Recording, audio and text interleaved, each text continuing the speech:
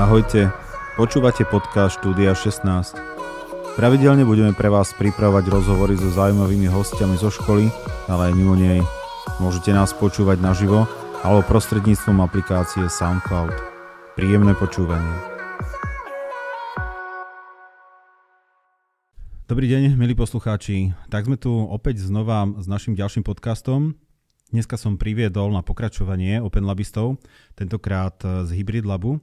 Sú tu dvaja žiaci a jeden Labmaster. Tak ich postupne predstavím. Je tu Maťo. Maťo, ahoj. Ahoj. Marek, vitaj. Čauko. A Jules, ahoj. Čauko. Jules je uh, nový prírastok do nášho Open Labu a je to vlastne nový Labmaster. Tak by som možno dal na začiatok uh, slovo jemu. Jules, uh, čo to je vlastne Hybrid Lab? No, Hybrid Lab je vlastne priestor, kde sa, kde sa učíme robiť hybridné aplikácie. Teda hlavný cieľ je, aby sme, aby sme sa priblížili čo najviac realite, aby sme išli takým praktickým uh, spôsobom, že takou najkračšou cestou od takého úplného začiatku, že zelená lúka, aby sa naučili um, vytvoriť niečo užitočné. Čiže neučíme sa nič naviac, len minimum to, toho, čo, čo, čo potrebujú na to, aby spravili nejakú a, užitočnú aplikáciu. My sme tu minule rozoberali, že čo to vlastne OpenLab je, a to už máme vysvetlené. A teraz by sme no. potrebovali pre poslucháčov rozrozprávať, že uh, jaký rozdiel možno je medzi Hybrid Labom a Games Labom a možno až do takých konkrétností, že jak ste si vyberali žiakov, jak vám prišli a tak ďalej. Mm-hmm. No, najväčší rozdiel je, myslím, že ten ten lab z veľkej časti tvorí um, Labmaster, ale aj uh, Tech Garant. A čiže tieto um, tie, tie laby sa od seba môžu veľ, veľmi líšiť, lebo ten Tech Garant hlavne udáva, že ten obsah, že, že, že čo, čo, sa budú, čo sa budú učiť, pretože ten Tech Garant, jeho úloha je zaručiť, že, že tie materiály alebo to, čo sa učí, je využiteľné v praxi, lebo oni to používajú, um, oni to používajú každý deň. Tieto. Čiže oni, oni udávajú tento obsah. A čiže um, VZO je to garant Hybrid Labu a PowerPlay Studio je, je garantom Games Labu. Čiže to PowerPlay, PowerPlay Studio má nejaký, nejakú inú predstavu o tom, že čo oni, čo oni tam chcú a ako to ako to robiť a VZO má nejaký, nejakú inú predstavu. OK. A tvoja uh, uh-huh. postava Labmastera má na starosti čo? No, ja som ten, čo je, čo je tam s tými žiakmi, že každý deň, ten taký prvý kontakt s tým. Čiže ja vlastne prenášam to z tej firmy, z, toho, z, tej, z tej reality, z toho reálneho sveta, tak ja to prenášam na tých žiakov. Dobre, spýtame sa hneď žiakov, keď ich tu máme. Maťo, uh, ako vnímaš ty uh, Hybrid Lab? Pre teba znamená čo? Alebo takto, začneme najskôr, že jak si sa vlastne v ňom vyskytol? Kedy to začalo? No, tak ja som sa v ňom vyskytol približne pred rokom a niečo. A bolo to také, že bavilo ma programovanie, ale nikdy som sa tomu nejako veľmi nevenoval a pre mňa to vlastne znamenalo taký ten úplný štart takého osobného rozvoja aj kariéry, keďže teraz už tam pracujem po jednom roku. OK. Prvá taká práca bola pre teba čo? Keď si tam prišiel do toho Hybrid Labu, čo si urobil ako prvé? Alebo dostal si nejakú prácu zadelenú? No, nebolo to, že zadelená práca, bolo to, že čo by sme mali robiť, také úlohy, návrhy a podobne, ale bolo to skôr aj o takom dobrovoľnom, že sme si mohli vybra- vybrať, čo vlastne chceme robiť a tak. A čo som dostal prvé také zadelené alebo dohodnuté, už to bola vlastne web stránka pre Open Lab a to bola taká moja prvá práca, ktorú som dostal aj zaplatená ako v tejto oblasti. Je to tajomstvo? Koľko to bolo? No, neviem, akože skôr také tajomstvo, ale ako bolo to dosť veľa na to, že čo to bolo. Že... Dobre, takže mal si vlastne aj spätnú väzbu a že nerobil si to zadarmo. Bol to dobrý pocit dostať zaplatené za svoju prácu, ktorú robíš vlastne počas školy? No, tak bol to super pocit, keď som to vlastne robil počas školy. Oni mi ešte ma to učili popri tom, povedali mi, čo je zle, čo by som mal opraviť, ako by sa to malo správne robiť, ešte mi za to aj zaplatili, takže to bola proste akože dosť veľká výhra pre mňa. Ako to dlho trvalo, než si spravil tú stránku? Nede teraz o to, že či si mal nejaký čas na to, ale ak si ju chcel spraviť dobre, aj bola funkčná, aj pekná a zaujímavá pre, pre diváka alebo toho, kto ju bude pozerať a chce vedieť informácie, mal si nejaký plán, že koľko to bude trvať, alebo si robil jednotlivé úkony, jak ti to prišlo? Mm, akože mal som plán, môj pôvodný plán bol, že tak dať to do týždňa, čo som viac menej stihol do takej prvej verzie a potom to išlo iba o tom, že som im to ukázal a povedali mi, čo by som mal zlepšiť, čo by som mal upraviť a už iba doľaďovanie, čo sa ťahalo možno ďalšie 3 týždne. Minulý podcast bolo povedané, že OpenLab je hlavne aj o tímovej práci. Ty si robil tú stránku sám alebo si spolupracoval na nej s niekým iným? Uh, túto stránku som robil sám, aj koncový projekt som robil sám, lebo dva ľudia, čo som mal s nimi robiť, od, odišli z labu ale zvyšné týmy robili spolu a už aj teraz uh, ja sa viac venujem tej tímovej práci. Web stránky stále fičia, kedy si to bolo úplne iné. Uh, dneska robí viacero ľudí stránku. Uh, prečo musí robiť viacero ľudí stránku vlastne? Uh, no lebo na tú stránku treba grafiku, takže treba grafika, potrebujete niekoho, kto vám naprogramuje to, čo vidia bežní užívateľia, potrebujete niekoho, kto naprogramuje backend, čo vlastne tá stránka na pozadí, čo už bežní užívateľia nevidia po prípade, ak sa ukladajú dáta ďalšie, čo robiť z databázy a podobne, takže treba veľa ľudí, ktorí dokážu spolu spolupracovať a prepojiť tie veci, čo vytvorili. Dobre, vysporiadame troška aj Mareka, aby nám tu nezaspal. Marek, eh, ty si prišiel asi na rovnako ako Maťo do labu však? Hej, ja som prišiel rovnako, akurát v polovici, teda na pol roka som odišiel, lebo som to nedával časovo a nejak som nemal usporiadané hodnoty, takže som v podstate odišiel po pol roku a na ďalší rok som sa vrátil. Aha. Čiže toto, som tam... toto by nás možno zaujímalo aj tých, čo počúvajú, že uh, je to iný systém, že môžeš uh, v úvodzovkách povedané odskočiť a potom zase priskočiť. Ty si naozaj uh, človek, ktorý to zažil. Povedz nám aj toto, že jak si sa cítil, keď toho bolo treba na teba veľa a potom, keď si to, tak jak ty hovoríš, usporiadal a vrátil sa náspäť. Povedz nám tú storku tak zjednodušene. Mm, no bol to pre mňa taký chaos, lebo na začiatku sme mali také, také predstavenie, všetkého, čo sa tam budeme učiť a potom sme si mali vybrať nejakú rolu a do tej sa viac ponoriť a viac, viac detailov sa o tom naučiť. To bolo v podstate ten backend, čo hovoril Maťo, alebo frontend, funkcionalita, grafika a takto. A um, no pre mňa toho bolo veľa a nemal som učené tie hodnoty, ak som hovoril, že ja som robil vtedy ešte inú prácu, čo vôbec s tým nesúvisela a neučil som sa pri tom nič spoločné a na to som si potom už nenašiel čas na ten Open Lab, teda Hybrid Lab. Dobre, a keď si odskočil, bolo ti to také hlúpe, trápne, no, alebo bolo ti, jak ti bolo vtedy? No, bolo mi to také trápne, áno, samozrejme. A, ale vedel som, že keď tam ostanem, tak nechcel som, aby sa mi nabalovali nejaké povinnosti a tak cítil by som sa ešte blbšie, takže som radšej odišiel na toho pol roka. A neviem, akože vrátiť sa tam nebolo jednoduché, lebo som musel dobiehať. Ale teraz, ako sa na to pozerám, tak o, nevidím, že čo vlastne som musel dobehnúť, lebo je to, no, je to pre mňa, pre mňa to bolo jednoduché v podstate. Ale, no dobre, teraz som sa trošku... Takže si úplne v pohode vrátený, hej. nemáš s tým problém, že si sa vrátil a nabehol si do, do rozbehnutého vlaku, hej? Mm-hmm. Dobre, OK.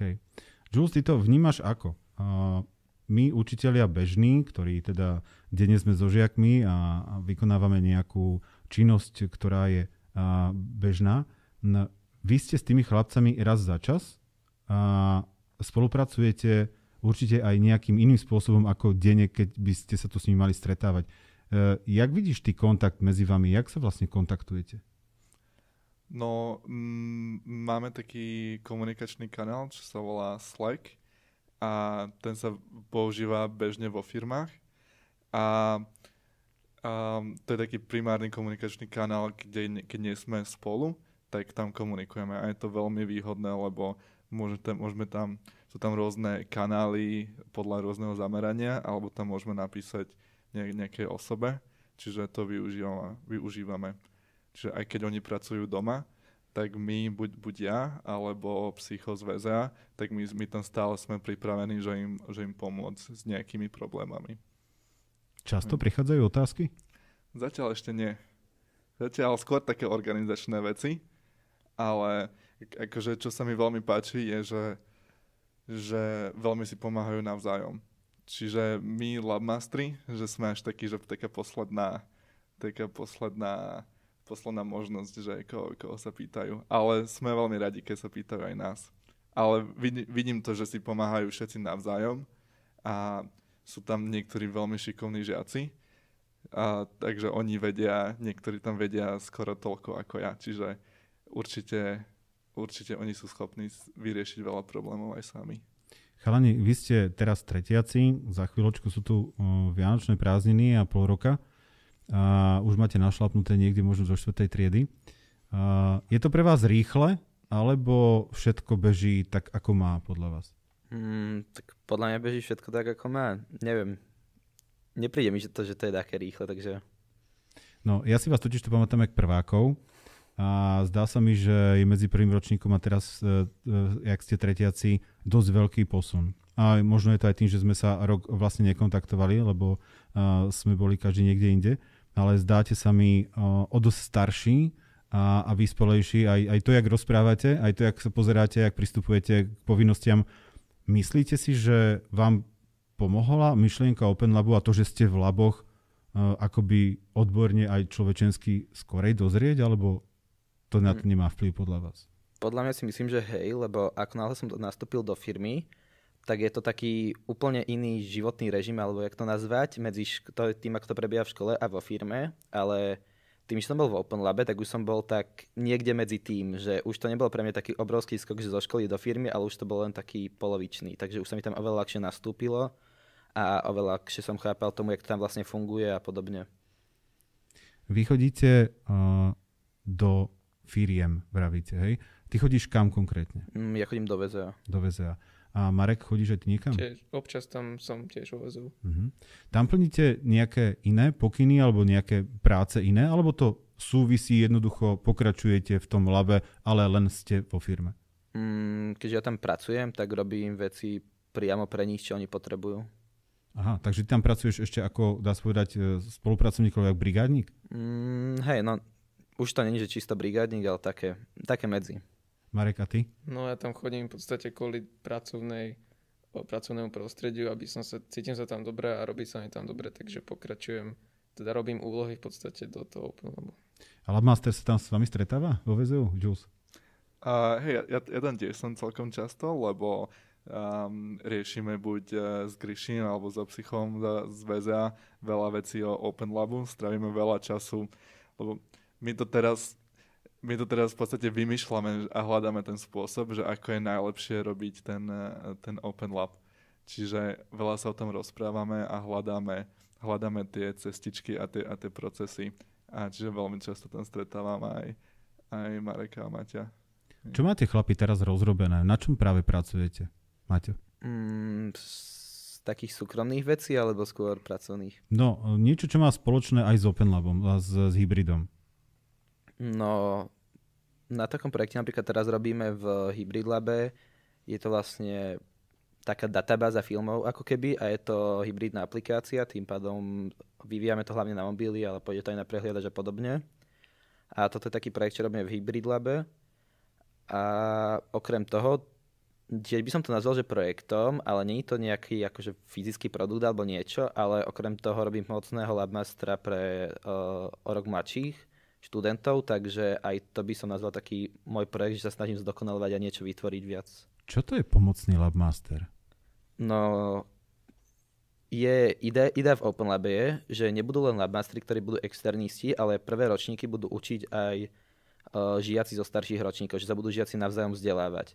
A tým pádom to, to je teraz taký prvý pokus, že nevzdelávam ich len ja a som tam s Julesom a snažím sa od neho učiť, že, že ako im vysvetliť veci a podobne a idea je, že ak to pôjde dobre, tak možno budúci rok alebo taký, čo bude za mňa, už by mohol učiť aj sám. To je skvelé. Marek, ty na čom pracuješ v rámci hybridu? Hmm, tak teraz robíme v Hybrid Labe aplikáciu takú, takú štartovnú, aby sme sa zoznámili v podstate s tým prostredím, ktorom robíme, s Ionicom a tak. O, robíme, no vlastne to povedal Matej, tú databázu filmov. To robím ja, nemám žiadne projekty iné okrem toho, takže ja sa na tom učím v podstate a na tom aj dobieham to, čo robili oni minulý rok. Dobre, teraz si dáme také technické okienko a pre tých fajnšmekrov. V jakých prostrediach robíte, alebo s jakými softami robíte? S čím vlastne pracujete? No, to by som skôr nazval technológiami. A čo sa týka frontendu, tak no, jazyky pre prvý rok, ako náhle nastúpite, tak si môžete vybrať, či idete HTML alebo CSS, čo je vlastne štýlovanie, alebo JavaScript, čo sú také animácie a rôzne iné veci. A potom môžete ísť backend a to je PHP. A v druhom ročníku si môžete vybrať, že či chcete začať robiť mobilné aplikácie, čo je Angular Ionic. A tam sa používa TypeScript, HTML, CSS, takže to sa spájajú už prvé dve role dokopy. Alebo si môžete vybrať, že idete pokročilý backend, takže naďalej v PHP a robí, robíte backend k tým aplikáciám. Čo z tohoto, čo si všetko vymenoval, je tebe najbližšie? Ťažko povedať, keďže robím vo všetkom z toho, ale v poslednom čase ma najviac asi zaujíma ten Ionic. Čo Ke, sú aplikácie. Keby si sa pozrel o rok dopredu, tak to si niekde tesne pred pol rokom v štvrtom ročníku. A kde sa vidíš po skončení strednej školy? Mm, toto je veľmi ťažké povedať, keďže uh, keď som si predstavil minulý rok, že kde budem teraz, tak by som si nepredstavil, že ma to až takto ďaleko posunie, že za jeden rok sa dostať do firmy a potom do, dokonca za pol roka som sa tam dostal. Tak to by som v živote nečakal, takže sám som sa už nad týmto veľakrát zamýšľal ale uh, chcel by som po strednej škole uh, buď naďalej pracovať tam, alebo robiť aj na vlastných projekt, projektoch, taký vlastný startup alebo niečo. A okrem toho, tým, že sa uh, dajú tieto veci robiť na diálku, tak chcem aj cestovať a popri tom pracovať aspoň takého pol roka po strednej škole. Marek, ty kde sa vidíš po škole? Fúha, tak ja to vidím asi nejak podobne, ako Matej, lebo neviem, s vysokou školou je to ešte taká otázka, že či áno alebo nie, lebo niečo vám to dá, ale v podstate nie je to až také potrebné v tomto smere. Toto si mi nabehol na, na myšlienku, keďže mám na starosti za školu aj prax v externých firmách a takto vlastne OpenLab začal. Tak by ma zaujímalo, že aký máte názor e, ísť alebo neísť na vysokú školu, keď sa tu na strednej odohrávajú takéto veci. Pre vás veľmi zaujímavé a pre nás tiež. Uh, jak to vidíte vy, jak žiaci, keď ste zatiaľ ešte v tretej triede? Už ste to na- skúste niečo bližšie o tom povedať. No, pýtal som sa veľkom množstva ľudí, či už rodiny, čo pracujú v IT sektore, alebo rôznych majiteľov firiem a podobne. A dve také veci, čo mi hovorili, že získate tam kontakty a získate tam taký širší rozhľad. Ale ako náhle už sa angažujete viac už aj na strednej škole, tak tie kontakty získate, čo by ste získali na vysokej, získate už aj na strednej škole, keďže teraz už pravidelne, keď idem na nejaké súťaže, stretnutia a podobne, tak už tam stretávam rovnakých ľudí z celého Slovenska proste a to sú tí ľudia, ktorých zrejme stretnete aj na vysokej škole a s ktorými by ste niečo začali. Takže tie kontakty podľa mňa mám už väčšinu z nich teraz a skôr či neskôr ich tak či tak stretnem, keďže tí najlepší sa vždycky stretnú a tak teda. Takže ja pre mňa osobne v tom nevidím taký veľký význam, keďže pokiaľ sa snažíte na strednej škole, tak podľa mňa to je dostatočne na to, aby ste už mali taký štart a takú, taký solidný základ na začatie kariéry. Marega, ty a vysoká škola? No, tak ja si myslím, že keď sa cítime dobre v tej firme a takto, keď tam už pôjdeme teraz v podstate a je to také zabehnuté, tak uh, prečo, to, prečo to nejak obmedzovať tou školou, že v podstate a dôležité je to, či tá škola nám dá viacej ako tá firma a keď to, čo robíme v tej firme, nám dá viacej a učíme sa viacej popri tom, ako robíme, tak je asi zbytočné trochu chodiť na školu. Labmaster, čo hovorí na takéto uh, myšlienky stredoškolských uh, študentov, že asi nie je vysoká škola? No tak ja sa s tým úplne stotožňujem a celkom ich tom podporujem, lebo ja sám nemám vysokú školu. Um, ja som, ja som, sa, ja som v podstate samouk a akože môj názor je, že záleží podľa toho, že čo chcete robiť. Dnes existuje na trhu obrovský dopyt po vývoji takýchto um, webových technológií a, a aplikácií a myslím si, že na toto vysokú školu netreba, že toto sa človek dokáže naučiť aj sám alebo s nejakou pomocou z, z niekoho iného ale nepotrebuje stráviť 5 rokov niekde študovaním tohto. To je skôr na škodu, lebo v tomto sa človek potrebuje čím skôr dostať do praxe a mať, a mať skúsenosť a kontakt s tým reálnym svetom a s tým klientom a toho naučí strašne veľa. Ale na druhú stranu, ak má človek nejaké vyššie ambície, že chce ísť veľmi do hĺbky, že um, architektúra alebo niečo viac o, o hardveri, alebo takéto niečo, tak tá škola mu dá, dá veľa. Napríklad, ak chce byť developer niekto a pracovať pre Google, povedzme, tak tá škola je dosť potrebná. Nie je to, že nevyhnutná podmienka, ale ak chce byť, že naozaj, že, že najlepší, najlepší vo svete v tomto, tak tá škola mu, mu dá niečo, myslím si. Dobre páni, to sme uh, načreli, že čo asi z tej technológie. A ďalšou záležitosťou Open Labu e, je tá tímová práca a celkovo ten životný postoj k tomu, koľko máte rokov, čo máte robiť, aké, aké máte povinnosti, čo chcete zažiť. Pomáha vám Open Lab aj v tomto?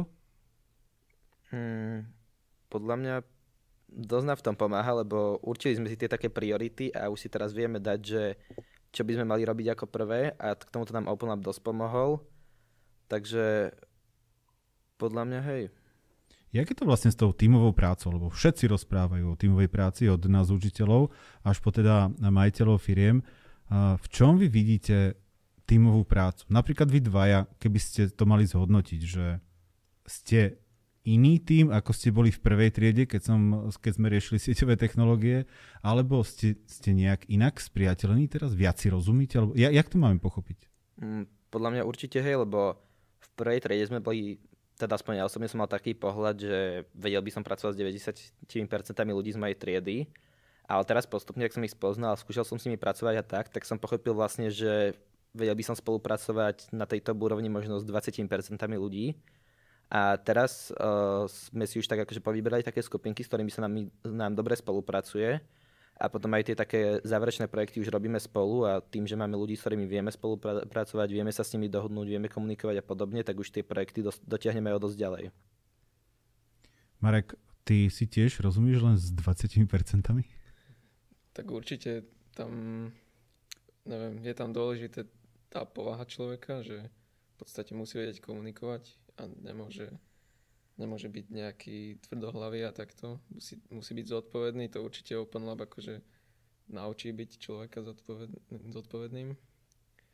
A neviem, jak som od, odišiel z toho Open Labu, tak som videl, ako tam Maťo chodí, lebo my sme akože kamaráti, tak videl som, že on sa tam cíti dobre a dáva mu to niečo. A v podstate ja som si určil preto tie hodnoty a takto, že naučil som sa byť zodpovednejší a tak a tým pádom neviem, je, preto som tam prišiel a, a splnil som si to. Mm-hmm. Že... Keď Labmaster počúva takéto fajn veci, jak sa cíti? Um, je to veľmi... Som, som veľmi rád, že sme im uh, odovzdali takéto veľmi dôležité informácie a skúsenosti že, že sme ich to naučili a že si to sami uvedomujú. Že v, takýchto momentoch mám veľmi dobrý pocit a mám pocit, že to, čo robíme, tak má zmysel. Maťo, ty si už niekoľkokrát zastupoval aj školu, ale teda Open Lab na verejných podujatiach. Jaký je to pocit zobrať na seba také, takú tú doslova až ťažobu, že idem von pred 100, 200, 300 ľudí, možno firmy, možno, možno rodičov, možno mladšie deti a, a povedať im, aké to je. Jak sa cítiš, keď vystúpiš pre 300 ľudí? No tak zase to je taký zaujímavý pocit, čo nie som si istý, či ho viem opísať, ale uh, myslím si, že je dôležité sa to naučiť čo najskôr vystúpať pred ľuďmi a zdokonalovať sa v tom, lebo to je niečo, čo sa musíte naučiť tak iba, že si to vyskúšate. A málo kto je taký, že ako náhle sa postaví prvýkrát, že už vie rozprávať a podobne, takže je dobré to robiť čím častejšie a teraz, keď už tam idem, tak už som uvoľnený, už nemám ani stres väčšinou, ani nič, proste tam idem, porozprávam im naozaj, čo si myslím, úprimne a tak. A na začiatku to bolo úplne inak, to som bol proste stres, nevedel som, čo poviem, zakoktal som sa a podobne. Takže už teraz vidím, že za ten rok, čo takto chodím na podujatia, postupne je tam viac a viac ľudí a takto, tak už mi to ani nejako veľmi nevadí, lebo už som sa naučil, ako k tomu pristúpiť. Keď človek ide rozprávať básničku, a tak sa ju naučí, pokloní sa, odrecituje, pokloní sa, zatlieska mu, odchádza. Ale ty rozprávaš odborné veci a naviac rozprávaš veci zo svojho života, kam si sa posunul. A ide ti to celkom ľahko. Rozprávaš to prirodzene, alebo chystáš sa pred tým výstupom? Mm, nepovedal by som, že sa chystám. Teda určite si nechystám samotné veci, čo budem hovoriť, skôr nejaké okruhy, o ktorých budem hovoriť. A to aj vyzerá väčšinou iba tak, že si otvorím, spravím si prezentáciu, kam si dám iba nadpisy, že o čom chcem vlastne hovoriť a v hlave si preletím 3-4 vety, ktorými by som to opísal a potom až keď som tam vlastne hovorím to, to celé okolo toho 1, 2, 3 minúty. Takže to idem všetko taký freestyle väčšinou. Minulý rok ste mali uh, skvelú, skvelú záležitosť v Twin City, uh, kde boli rôzne firmy, aj teda rodičia a boli tam pre, ukázané vaše výstupy za chvíľku vašej práce. Chystáte niečo aj tento rok podobné, Jules? Máš niečo naplánované také? Akože úprimne poviem, že ja neviem. Takéto veci rieši skôr Barborka, ktorá je úplne úžasná a všetky takéto veci uh, vie, vyba- vie vybaviť. Ale bol by som veľmi prekvapený, ak by to tento rok nebolo. Takže nevidím žiadny dôvod, prečo by to nemalo byť, takže myslím, že áno. Chalani, vy keď siahnete do toho, čo máte rozrobené, tie projekty, tak je úplne jedno, čo by ste vyťahli. Viete sa s tým v úvodzovkách pochváliť, respektíve ukázať ľuďom, na čom ste pracovali. Alebo keď viete, že bude takéto vystúpenie, tak sa na niečo zvlášť pripravujete. No, tak napríklad na tom vystúpení, čo ste hovorili, tak to sme boli špeciálne pripravení projekty, ktoré sme spravili a sme odprezentovali. Ale teraz je to častokrát také, že keby som niekam išiel, tak vyberem si projekt, ktorý už mám hotový na tú tému a len to ukážem, odprezentujem a dokáže to sadnúť proste tam, lebo tie projekty sú už častokrát na, na, na takej úrovni, že aj ľudia, ktorí sa v tom vyznajú, že sú prekvapení. Napríklad teraz, čo, mám, čo som robil jednu vec, tak som to mal iba vo firme otvorené a už došli za mňa a pozerajú, že ja, že to máš odkiaľ a že toto je. A keď som im povedal, že no to som ešte raz búchal, tak boli až prekvapení. Reakcie ľudí, ktorí majú peniaze, majú firmy a zháňajú také mozgy, ako ste tu vy, uh, hovoríš, že sú, že sú prekvapení. Uh, tebe sa to zdá ako, keď sú takto prekvapení, že na 18-ročného chalana takto reagujú? No, pre mňa to je dosť taký zaujímavý pocit, lebo väčšinou sa zakecáme, začnú mi hovoriť, že majú firmu, hľadajú ľudí a tak. Potom sa ma spýtajú, na akú vysokú chodím a ja vždy pozerám na nich, že ja som tretiak na strednej pozerajú na mňa, že to odkedy programuješ, že rok a pozerajú na mňa ešte viac, že toto si za rok stihol, že to čo tam máte, takým porozprávame o Open Labe a tak. A väčšinou sú z toho celkom prekvapení, lebo nevedeli, že také niečo existuje. A tak, takže je to taký dobrý pocit niekomu takto porozprávať, čo ste stihli a za tak krátky čas, a keď je taký prekvapený, že vidíte, že nie všade to takto funguje. Takže ty chceš nám všetkým povedať, že toto, čo vieš, si sa naučil za rok a pol? Hej, menej než rok a pol. Marek, aj ty? No ja nie. ja nie som na takej úrovni určite jak Matej, lebo aj cez to, že som odišiel a on sa tomu venoval určite viac, takže... Ale dá sa. Keď niekto... Jules, ty, ty jak to vidíš? Je potrebné, aby a ešte 8, 7, 6, tak ja neviem, kam ešte mám nižšie ísť, potreboval uh, tieto skillsy nadobúdať už skorej? Je to lepšie? Alebo jednoducho, keď má človek talent, tak sa to prejaví v ten správny čas? Mm, takže podľa mňa len to, že má človek talent určite ne, nestačí. Každý, každý si to musí odmakať a musí veľa skúšať a ne, nejde mu to, musí hľadať bugy a, a podľa mňa čím skôr, tak e, tým lepšie. Aj keď má talent, tak to len bonus, ale na talente by som určite uh, ne, nestavial. Dobre páni, chýlime sa už ku koncu nášho rozhovoru, veľmi príjemného a veľmi pozbudivého. Čo by ste odkázali, ak nás náhodou počúvajú aj 8 9 alebo rodičia, a deti, ktoré rozmýšľajú, kam sa dať na strednú školu, respektíve čo budú robiť, až vyštudujú strednú školu, či ísť na vysokú, neísť na vysokú. Čo by ste im odporúčili rodičom alebo týmto 8 9 že ako si majú vyberať školu? Hmm. K tomu, co som raz videl, o, taký jeden článok alebo video, že ako by sa to malo robiť. A bolo to robené niečo na štýl, že vytlačíte si papier napríklad s 50 povolaniami, vyškrkáte si prvých 30, ktorých určite nechcete, potom sa pozriete na zvyšné, vyškrkáte ďalších 10, ktoré určite nechcete a z tých zvyšných 10 si skúsite. A to, čo vás zaujíma najviac, tak do to, na ten smer sa venovať. Marek, čo by si povedal 8 ako 9 tak, ako, ako 8 9 tak určite by som zhodnotil nejaké svoje predpoklady, že či podstate nejaká inteligencia takto, že či mám na nejaké ťažšie školy alebo tak. A určite potom by som volil určite nejakú IT školu ako Halova. A neviem, určite nestrácať čas na škole len tým, že tam som a nič nerobím, lebo keď mi škola nedá nič, tak iba tam nebyť a ne, aj doma prísť domov a nerobiť tiež nič, ale robiť to, čo ma zaujíma, že ne, neviem, jak to povedať, o, nebrať školu ako taký, také hlavné vodítko, že v podstate to nie je... Pred, ja, som, ja som napríklad Halovu precenil, že, že myslel som si, že ma to bude viesť samo a ja nebudem musieť robiť nič v podstate. Mm-hmm. Toto je dobrá myšlienka, to by som chcel všetkým zdôrazniť, že stredná škola nie je o tom, aby vás všetko naučila, ale aby vám ukázala cestu a smer, a aby vám pomohla v tom, v čom ste dobrí. Preto aj tu riešime také veci, ako je Open Lab a nielen Open Lab, ale samotné sprevádzanie.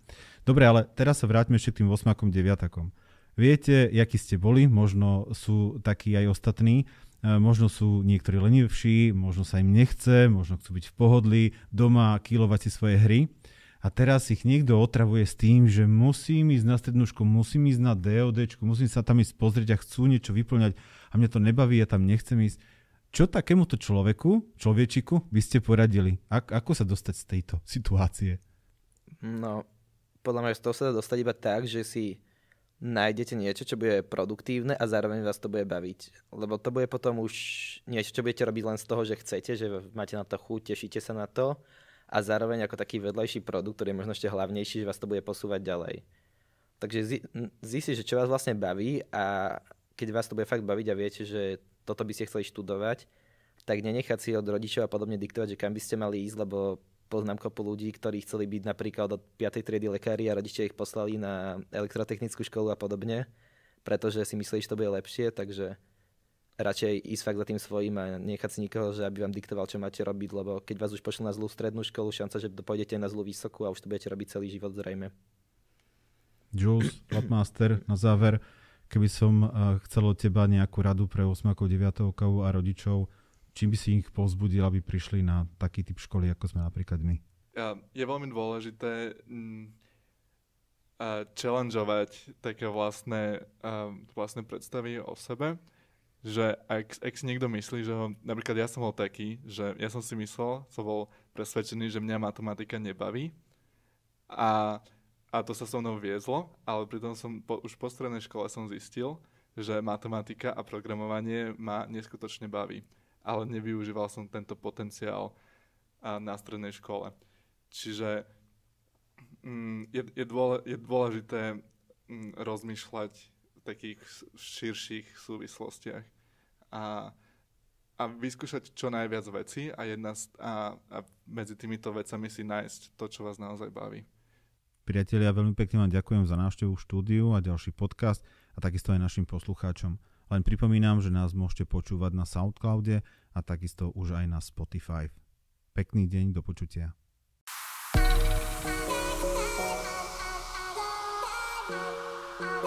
Ahojte, počúvate podcast Štúdia 16.